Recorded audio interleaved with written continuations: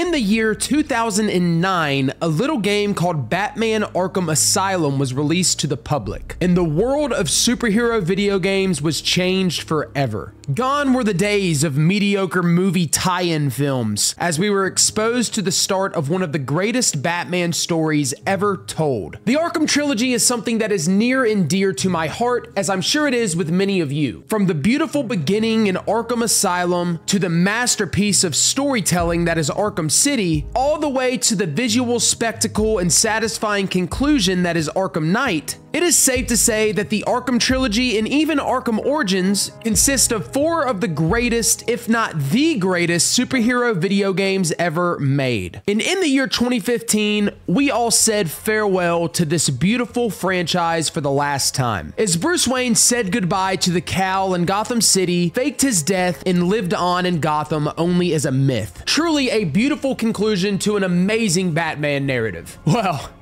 at least we thought that was the conclusion. Until Warner Brothers decided to make this. What the fuck? I don't typically make videos like this, and to be quite honest with you, I don't even know what channel this is going on. But I have so much to say about Suicide Squad Kill the Justice League and how disappointed I am with Rocksteady for what they attempted to do here. I have to get it off my chest. I wasn't even going to play the game, and I'm actually a major hypocrite for doing so because I said I wasn't going to, but you know what? Sue me. The Arkhamverse is very, very important to me, and if this ship is sinking, I'm going down with it. Before I get into the nitty gritty, I do want to point out a few positives with the game because though I'm mostly pretty disgusted by what we have here, I'd be lying if I said I didn't have at least a couple of good things to say about it. For one, the face models and voice acting are all top notch. This game is at its best when you're not actually playing and you're watching a cutscene. It's very obvious that a lot of work and effort went into the cinematics of this game, and that's something I can appreciate. There's a lot of traces of the old Rocksteady here. When the game first started, I actually found myself pretty intrigued by the story and what was going on, specifically because it was visually a pretty nice game to look at. Obviously, that intrigue turned into resentment later on in the game, but it definitely wasn't because of the visuals. I'd also like to point out how well done the character designs were for the league members. Wonder Woman looked amazing. John Stewart looked amazing. Superman looked amazing. Would have been nice to see them in, you know, um, an actual Justice League game. And then like this is a, a oh, ba- this is a sick Arkham Batman design. We could have had like just a Justice League game with these with these characters and these designs, but we're not. Instead, we're getting a, a looter shooter. It just it's it just it's it hurts me. The chemistry between the squad members was also pretty good. The comedy could be pretty hit or miss, but there was a lot of dialogue that did make me chuckle. And where the hell did Boomerang go? Don't worry. He always comes back.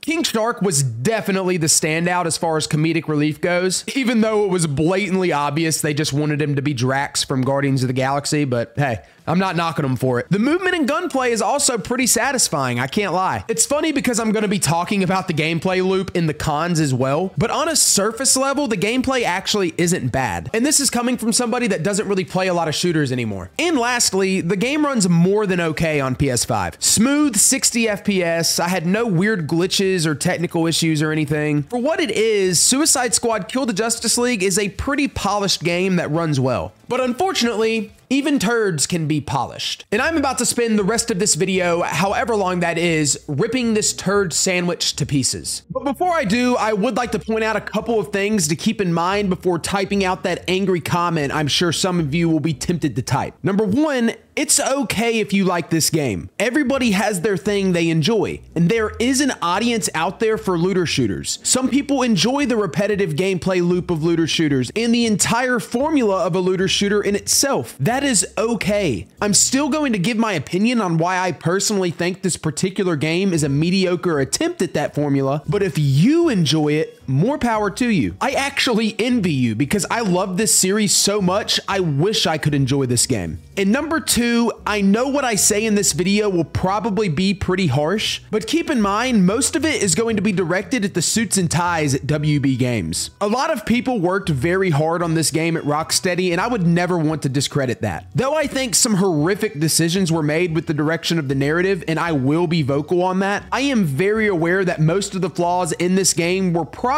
out of the hands of the men and women sitting at their desk just doing their jobs. So yeah, just wanted to get that out there. Don't hate me. Let's get into it. I don't even really know where to begin, but I guess I'll just start with this. This game is foundationally flawed, meaning Rocksteady's decision to make a live service looter shooter as a continuation to a series that is known for being a single player, narrative driven experience was the wrong decision. They could have made the best looter shooter in the history of looter shooters and it would not have mattered. It still would have been ripped to shreds because you failed to make the game your fans wanted from you. So, Rob, are you saying that developers can't branch out and try new games and genres? No, of course not. Rocksteady deciding to make a looter shooter was not necessarily a problem in itself. But do you know what is a problem? Connecting said looter shooter to a universe that was concluded in a beautiful way almost a decade ago. It is so painfully obvious right from the jump as you start playing that the only reason this game is connected to the Arkhamverse was because WB Games wanted to try and piggyback off the success of the Arkhamverse. If you want to make a looter shooter, then fine. But don't make a looter shooter and try to nostalgia bait your old fans into buying the game as well. Because all this resulted in was pissing off those fans that have supported you for over a decade. And that's going to lead me into my next point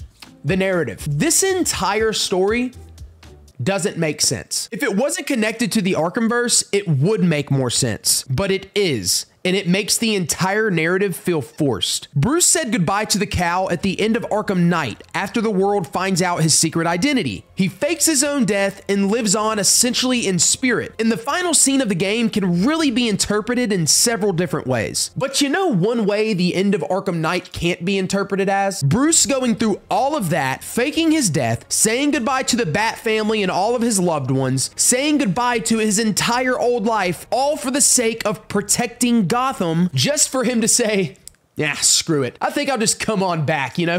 Who cares the world knows that Bruce Wayne's Batman? it is so unbelievably out of character of Bruce Wayne based off of what we know about him through the trilogy. And and quite frankly, it's just it's lazy storytelling. It makes not only Arkham Knight, but the entire journey and character development of Batman in the trilogy completely obsolete. None of that even matters now. If you don't believe me, just listen to this dialogue between Batman and Catwoman real quick at the end of Arkham Knight. You're not playing at all.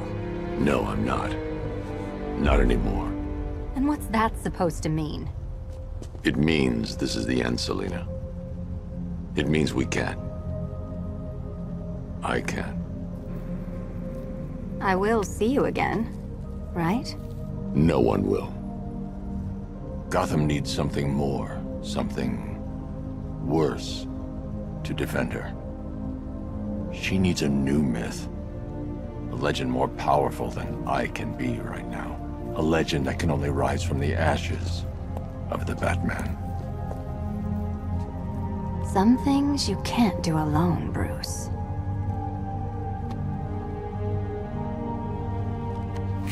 And some things you have to.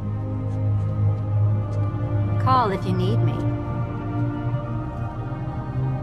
I won't. And now listen to that same Batman in Suicide Squad Kill the Justice League just a few years later. Before I had allies, but I thought I had to push them away to protect them.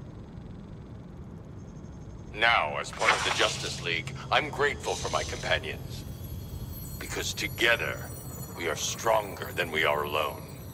It just doesn't feel it feels weird, man. It feels weird knowing that that's supposed to be the same Batman from the end of Arkham Knight. This feels so forced. Like that Batman from the end of Arkham Knight, that Bruce Wayne would not, he wouldn't have come back in this way and just, yeah, yeah, I'm Bruce Wayne and I'm Batman. Yeah, I'm back. Yeah.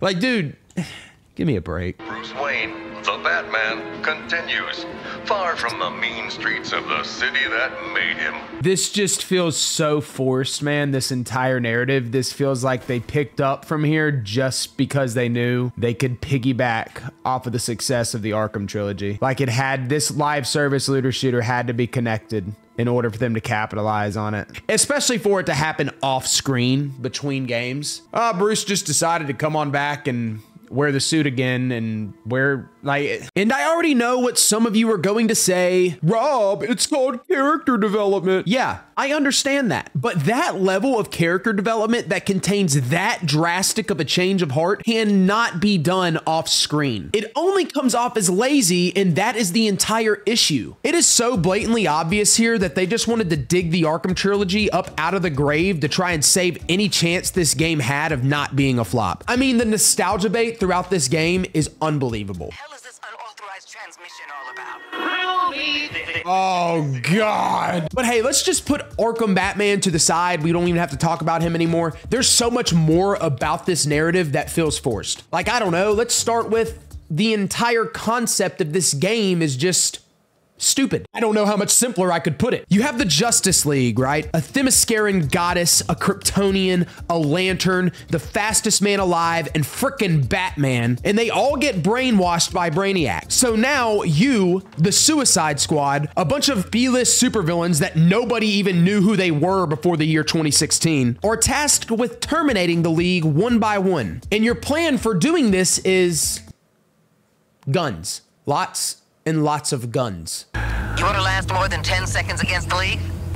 Cobblepot's been running anti-meta weapons for years. I want him recruited and brought back to the Hall of Justice. So you're gonna fight the Justice League Hold up there. with guns. Like that's the. I'm sorry. Green Lantern's the only thing between us and that skull ship. But you're nowhere near ready to face him. That's why your support squad will be working double time to get you four kitted out.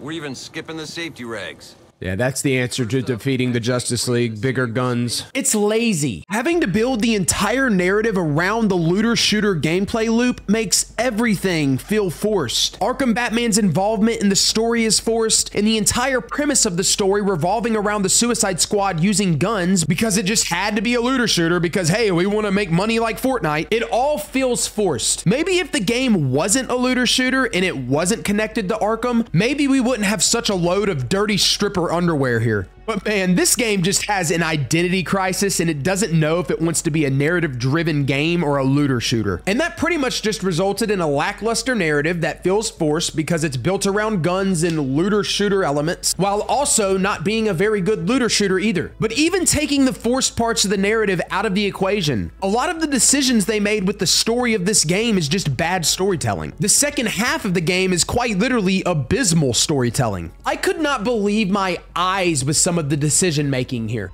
But you saying I can't really makes me want to, you know? Harley, no! Worth it. Is sexual assault funny? Like the entire Poison Ivy sequence, knowing that Ivy sacrificed herself to save Gotham and Arkham Knight just to have Rocksteady do her like this?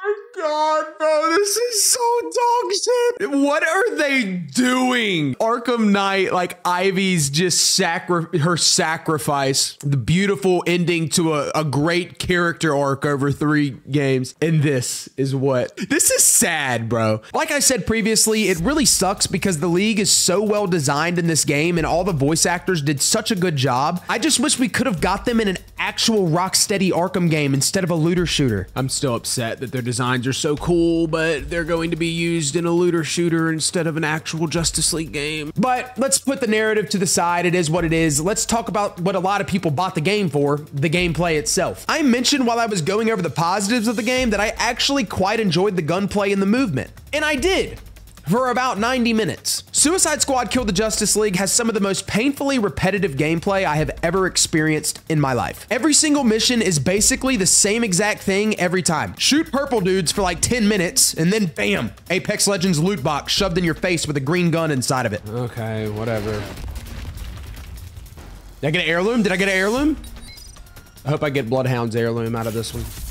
Ah, man, maybe next time. That's literally the entire game. You have to suffer through the same missions over and over and over again for like an hour at a time just to get like five minutes of cutscene and story. Then another hour of shooting purple dudes. Like, I want more story, but I feel like I'm having to go through just like hours of repetitive missions over and over and over and over again just to get a few minutes of like story. An hour of repetition, same stuff over and over, and then you get like a little five minute cutscene of what's actually happening in the story and that's frustrating. The mission variety is basically non-existent here. You have escort missions, sometimes you have to save hostages and take them back to safety, and then there's these tower missions where you have to kill purple dudes to get crystals and throw them at more purple shit. Dude, I really don't even know, man. I don't even know what's going on. I think the fact that I have zero clue what's actually going on or what I'm actually supposed to be doing throughout each of these missions, yet I was still completing them says it all. Just shoot the purple shit, man. Buckle up, squad.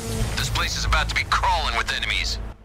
Why? I just feel like we're like fighting for no reason. Like they just show up when they're ready to show up, like for no purpose other than to have a gameplay loop. There's no like flow to anything that's happening. There's not even enemy variety in this game. They are literally all just purple dudes. Some of them are shielded and every once in a while you get these big brute things, but you fight them basically the exact same way. And I will say this, repetitive gameplay isn't always the end of the world. There's actually a lot of games I thoroughly enjoy that are extremely repetitive. But the issue is that this is a live service looter shooter. Rocksteady has 12 seasons planned for this stinker. They expect you to spend a thousand plus hours playing this. I have a better chance of seeing my Dallas Cowboys in the Super Bowl at some point in my lifetime than this game has of making it 12 seasons. I wouldn't be surprised if it gets canned after like three or four. You cannot make missions this unbearably repetitive and expect people to log on every day for years to do their dailies. It is quite literally delusional. And oh my God, don't even get me started on the UI.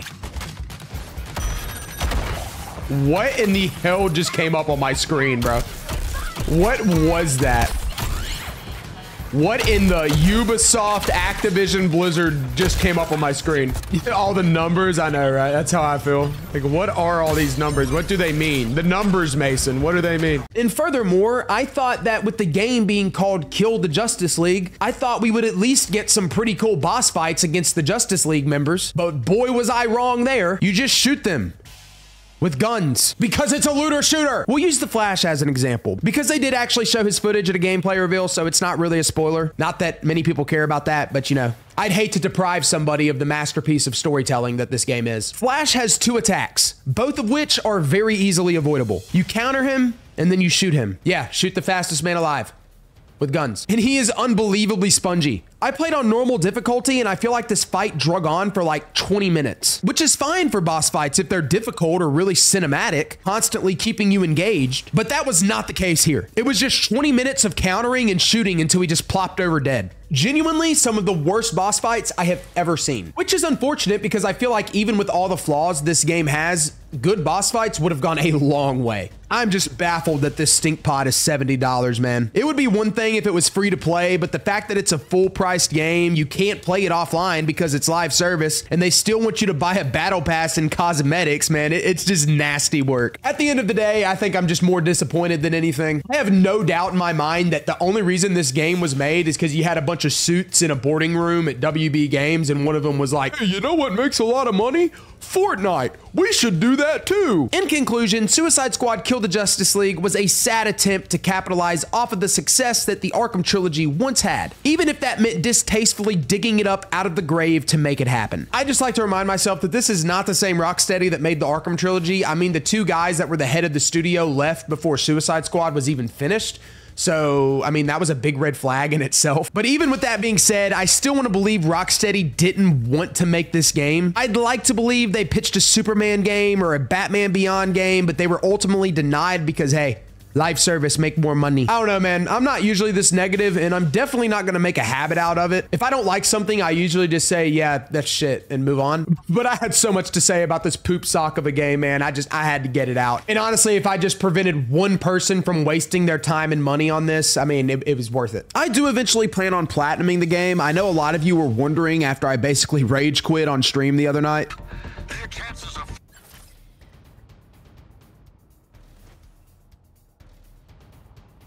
I'm contemplating everything.